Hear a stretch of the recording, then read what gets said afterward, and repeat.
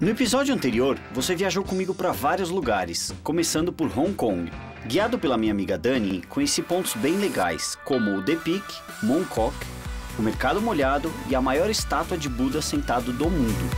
Também fui de balsa até Macau, ali pertinho. O país mistura as culturas chinesa e portuguesa.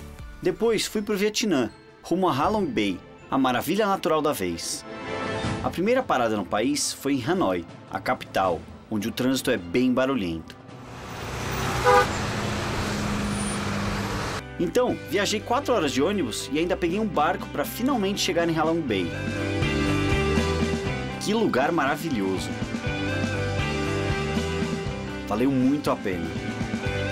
E hoje vocês vão conhecer a ilha Jeju, a quinta maravilha da minha volta ao mundo. Conhecida como a Ilha do Amor, Jeju fica na Coreia do Sul, a pouco mais de 450 quilômetros da capital Seul. Por que será que é a Ilha do Amor, hein? Bom, assiste o episódio que você vai entender. Rumo à Coreia do Sul.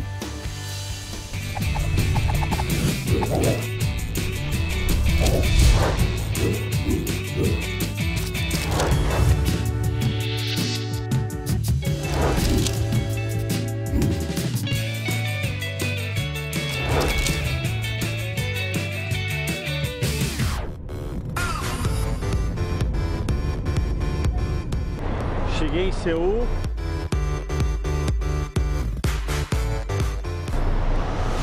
Tá frio, muito frio. O dia já estava quase amanhecendo. Do aeroporto, peguei um ônibus para encontrar o Raul. Acabei de encontrar aqui com o Raul, é um chileno de La Serena, amigo de, de uma grande amiga de São Paulo, que recomendou ele. Ela que está participando do programa Adote um Mochileiro. E aqui tá o Raul. Hola. Carol, agora aí ó, estamos No, juntos. loco, tengo una cara de sueño. Com quase 50 milhões de habitantes, Seul é uma das maiores áreas metropolitanas do mundo e capital do país. Aproximadamente metade da população sul-coreana vive lá. A cidade, que é muito avançada tecnologicamente, tem um dos maiores números de usuários de internet do mundo. Resumindo, é o país do Psy. Open Gangnam Style.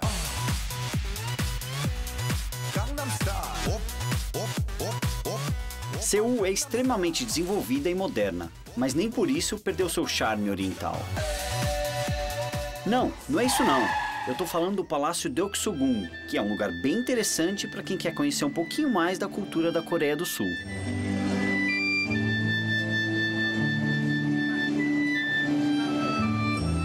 Para visitar então Seul, a capital.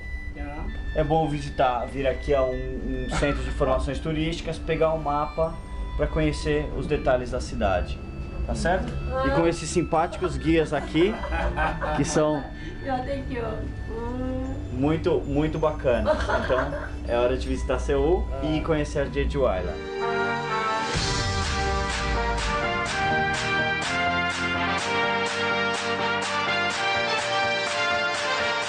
Então agora é hora de provar um pouco da comida coreana. É bibimbap, isso aqui.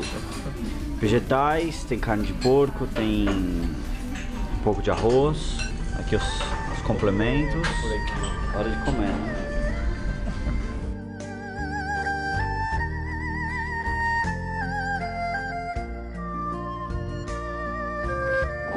Depois de um almoço típico coreano, fui experimentar uma bebida muito popular no país, o makgeolli. É uma espécie de vinho de arroz com mais ou menos 7% de teor alcoólico. Esse aqui que é o que mais sobrou até agora. A gente chegou à conclusão que é o melhor para limpar o banheiro. Que parece um diabo verde. O último é ruim mesmo. Depois de um longo dia conhecendo a cidade, fui para casa do Raul e conheci a filha e sua esposa Josephine Lee, que são casados desde 2009. Até bossa nova eu ensinei a cantar por lá.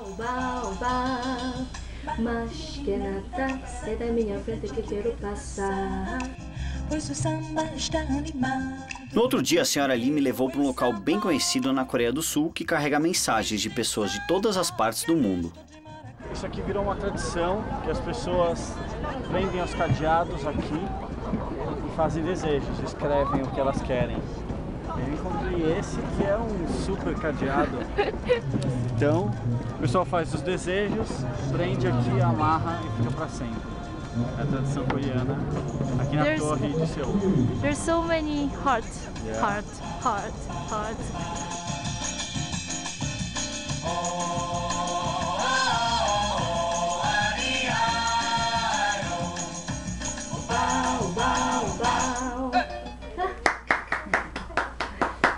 Very good. Very good. Isso aí, vocês viram, hein? Bossa nova Ah, na Coreia. lembra que em 2002 a Copa do Mundo foi na Coreia? Então, seguimos para o estádio, o estádio da Copa aqui na Coreia. E já estamos do lado. Bom, estamos aqui caminhando tentando achar o. Ah, FIFA World Cup. É. Aí, ó. Vamos ver se dá pra conhecer aqui.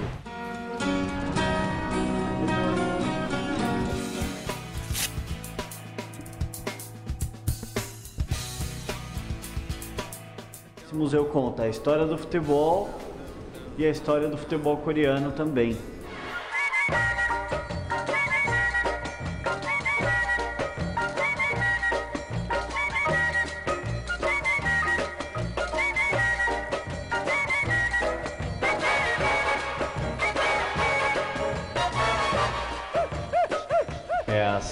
Participações da Coreia nas Copas não trazem boas lembranças. Vamos lá. 54. Deve ter sido a primeira Copa deles. Olha o placar. Em 98. Vixe Maria, só tomou pau. Dá pra ouvir aqui a, a emoção, hein? Vai entrar! Vai entrar em campo! Ó! Deus. It's cover!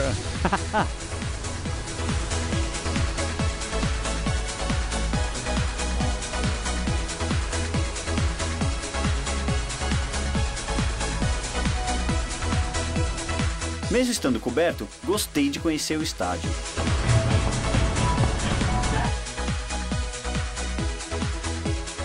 Depois de relembrar a vitória do Brasil na Copa de 2002, o Raul me levou para conhecer a DMZ, que é o local da divisa entre as duas Coreias. Não é permitido ir de carro até lá, então pegamos um ônibus e fomos com outros visitantes.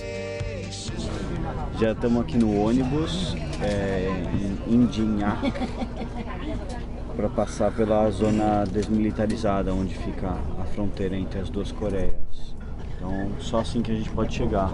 A região tem aproximadamente 4 quilômetros de extensão, bem no meio das Coreias. E pode ser vista por esses binóculos grandões aí. O clima lá não é dos melhores, afinal muita gente morreu em ambos os lados.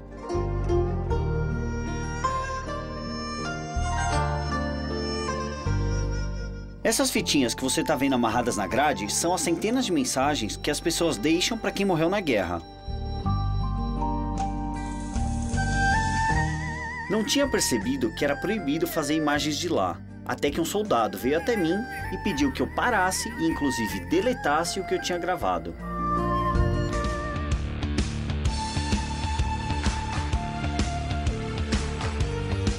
Era hora de finalmente conhecer a maravilha dessa viagem, a ilha Jeju. Pelo nome, parece um lugar pequeno, né? Muito pelo contrário, viu? É uma baita ilha com muita coisa para fazer. De Seul, segui de trem para o aeroporto de Gimpo. E aqui eu embarco para Jeju. Can I have a window? Okay. Is it possible? Thank you. Janelinha para ver Jeju chegando. So I can see Jeju coming.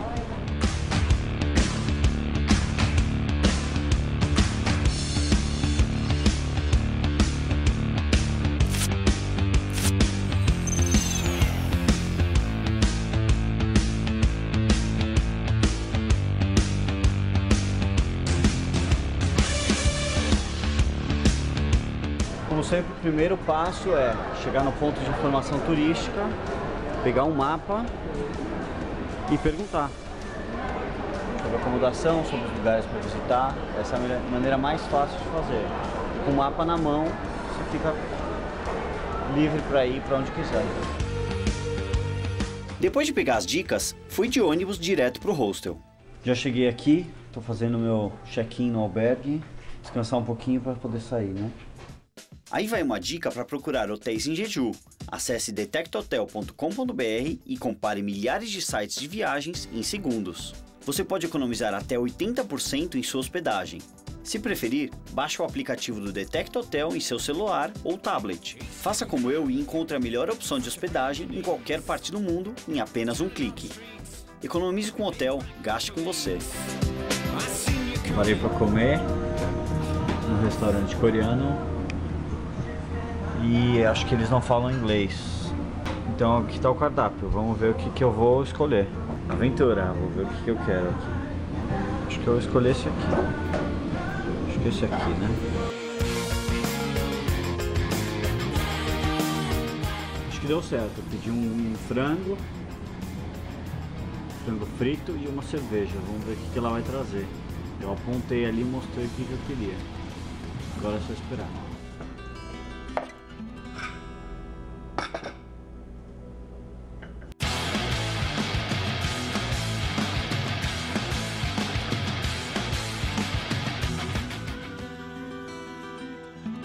Eu vou dormir feliz.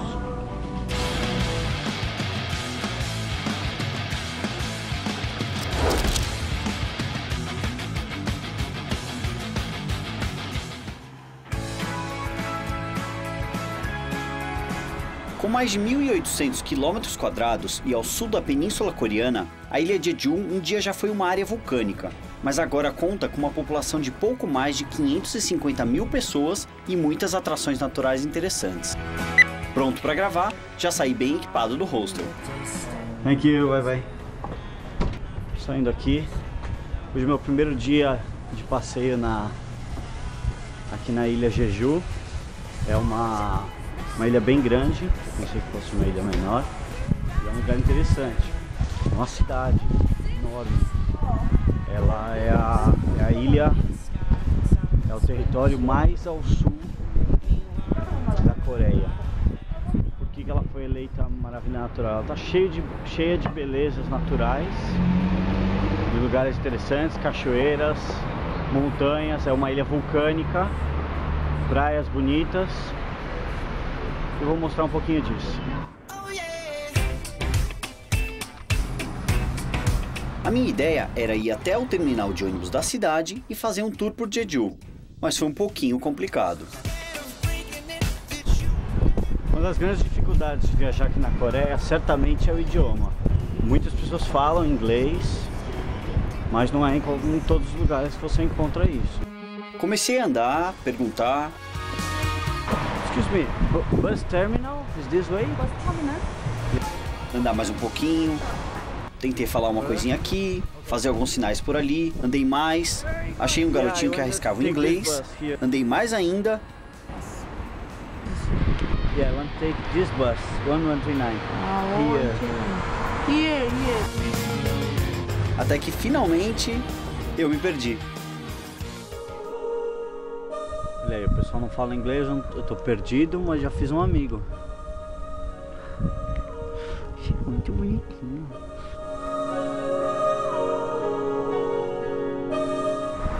Tô chegando aqui no terminal de ônibus e é daqui que se partem parte a maioria dos ônibus que vão pela cidade, para as principais atrações, para a região das cachoeiras, das ilhotas próximas, os museus, tem aqui o Museu do Chocolate, o Museu do Sexo, ah, tem um monte de atração, então é aqui que sai. A minha primeira parada foi em direção ao Monte Hala, lugar mais alto de Jeju, de onde é possível ter uma vista de 360 graus da cidade.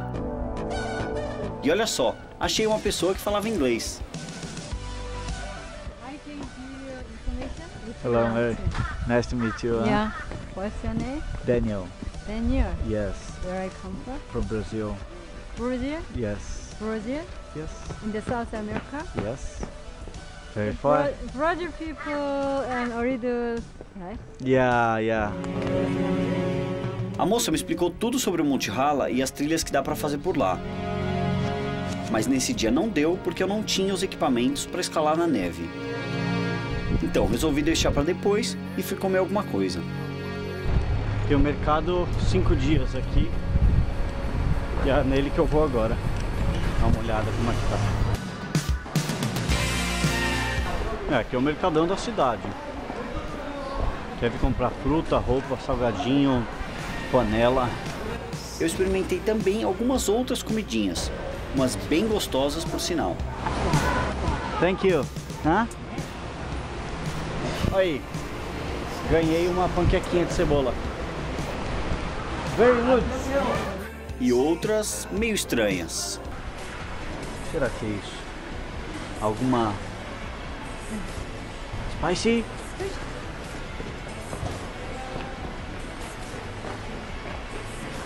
Hum.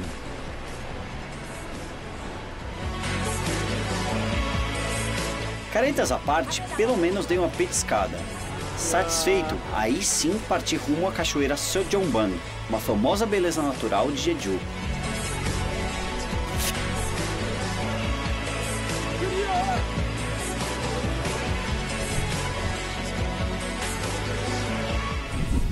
Metros de altura, 10 metros de largura.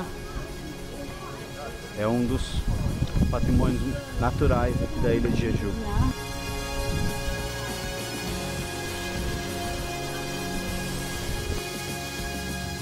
Eu tô na trilha número 6, que é no sul da ilha, e a principal atração é essa aí, cachoeira.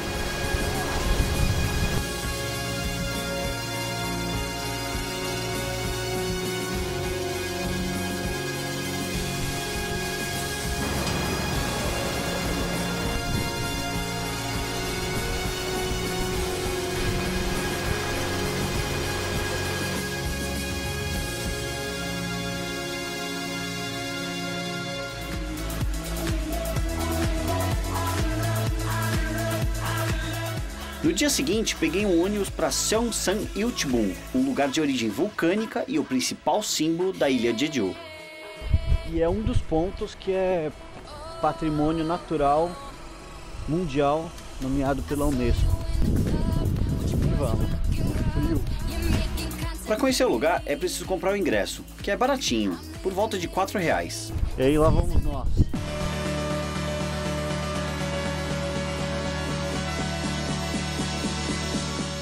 É, até aí foi fácil, mas para chegar até o topo tive que fazer uma bela de uma caminhada.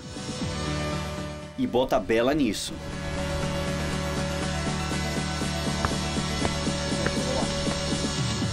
Se você acha que só japonês tira foto de tudo que vê, os sul-coreanos não ficam para trás não. É foto daqui, foto dali, foto com a família e outras meio engraçadas. Se bem que eu não posso falar nada, porque eu também tirei. Depois de uma longa caminhada, finalmente cheguei no topo. Como eu fui na época do inverno, não peguei a ilha toda verdinha como fica no verão. Mesmo assim, a ilha é bem bonita.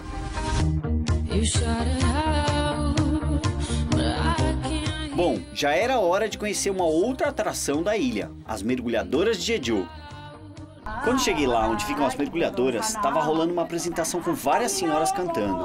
No começo, achei que era uma atração musical comum, mas não era só isso. Elas vão mergulhar e pescar nesse frio.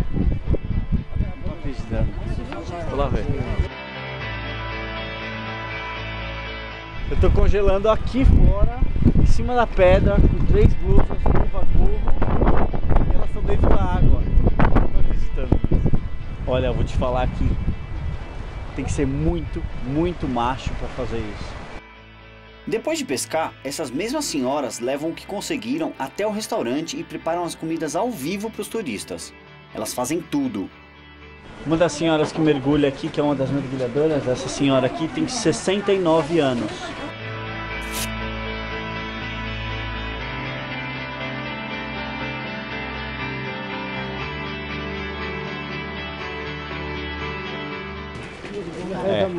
Tá meio caro pro bolso do mochileiro. Bye, bye! Bye, bye! Uma outra coisa bem conhecida de Jeju é a caverna Manjangui. Ela tem 7 km de extensão, mas só um está aberto para visitação. E lá fui eu. Estou aqui com o Gugu, meu novo amigo da Coreia. Ele está me ajudando a pegar um táxi aqui eu desci no, no ponto de ônibus para chegar na caverna. Encontrei o U dentro do ônibus e perguntei como fazia para chegar na caverna. Quando eu desci do ônibus, ele veio logo atrás de mim. Ele não tava indo pra caverna, agora ele tá indo comigo. Achei que todos os problemas estavam resolvidos até chegar na caverna, mas não passava nenhum táxi por lá. Então o jeito foi pedir carona na estrada.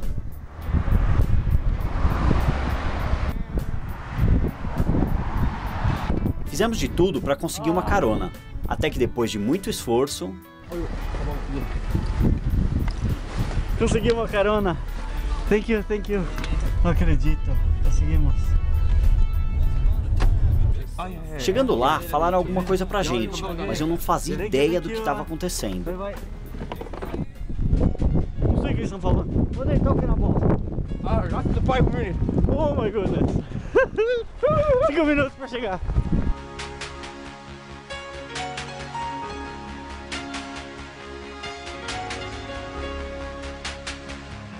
Oh no, no. Please. Please. Oh, just a little bit. Os funcionários da caverna foram bem legais e deixaram a gente entrar para ver um pouco. Mas eu e o meu amigo acabamos nos empolgando. A gente foi entrando e andando lá dentro cada vez mais, até que de repente Oh. Oh no, no, please, please. Nossa. No fim do. Aos 47 do segundo tempo. Ah. Chegamos. Thank you. Ah. 아 죄송합니다. Thank you, sir. Thank you. Thank you. Thank you. 오케이 오케이.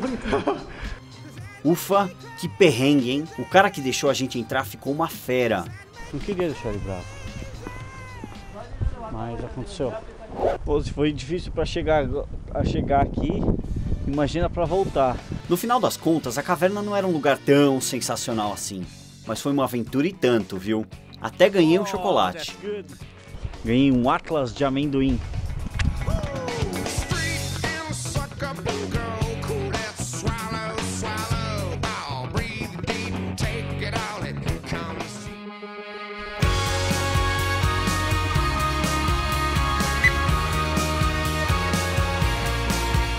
Jeju ficou conhecida como a Ilha do Amor devido ao grande número de casais coreanos que passavam a lua de mel lá. 9 mil wons para entrar.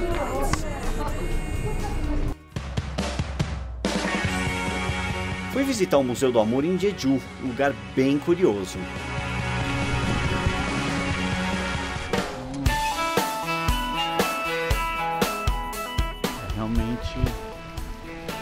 Diferente de tudo que eu já tinha visto.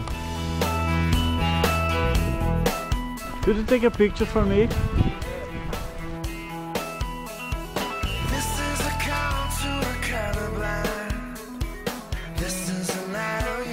Já tô entendendo por que, que a por que, que a Ásia é o continente mais populoso. O pessoal vem todo aqui para Jeju, vem no museu, fica feliz, empolgado, vai lá e manda ver, faz filhinho. Chega, embora. Tchau.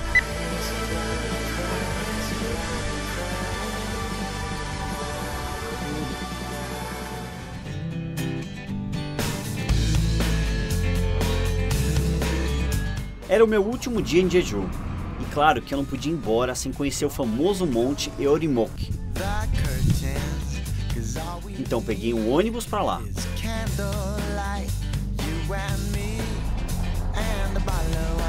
Hoje o tempo está um pouco melhor. Isso não quer dizer que está calor, muito pelo contrário, está bem frio. E eu vim aqui no na região de Orimoco, que é um dos pontos que dá para ver bem o Monte Hala, que é a montanha central da ilha.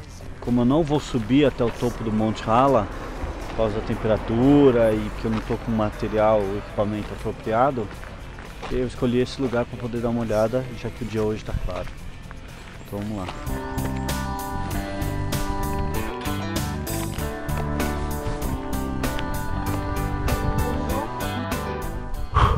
Complicado. Já estou muito cansado no começo. Está bastante ainda. Eu tô um pouco doente. Acho que não vai dar pra chegar lá em cima não. Hello! Vamos ver, vamos aos pouquinhos.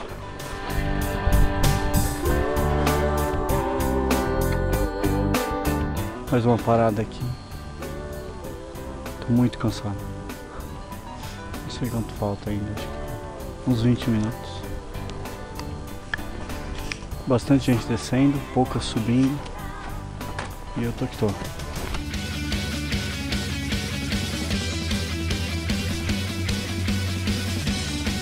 Acho que eu tô chegando.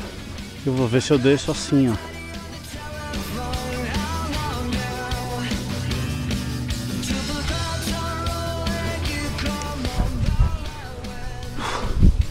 Cheguei.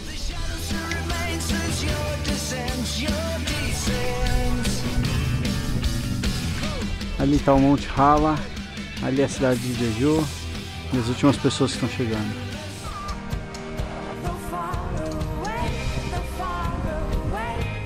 Esse é o meu limite. Daqui eu volto. Valeu a pena, mas eu tô muito cansado.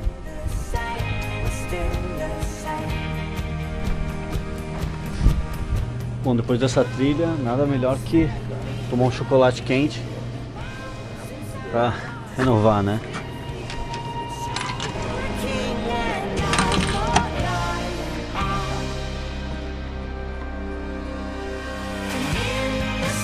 Aí sim.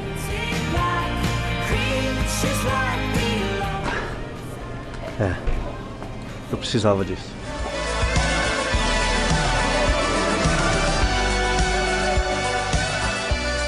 A minha volta ao mundo pelas maravilhas completava a quinta etapa. Não dá para esquecer a simpatia do povo de Seul. Muito menos a beleza da cachoeira Soljbang, a coragem das mulheres mergulhadoras e a imponência do monte Eorimok. Mas já era hora de voltar para a América do Sul, onde eu faria mais duas paradas. E a primeira delas era na Amazônia, para andar em matas tanto do Brasil quanto da Venezuela. E aí, se animou? Então, até o próximo episódio.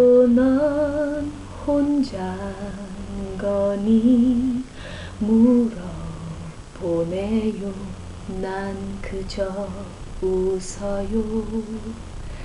사랑하고 있죠. 사랑하는 사람 있어요. 그대는 내가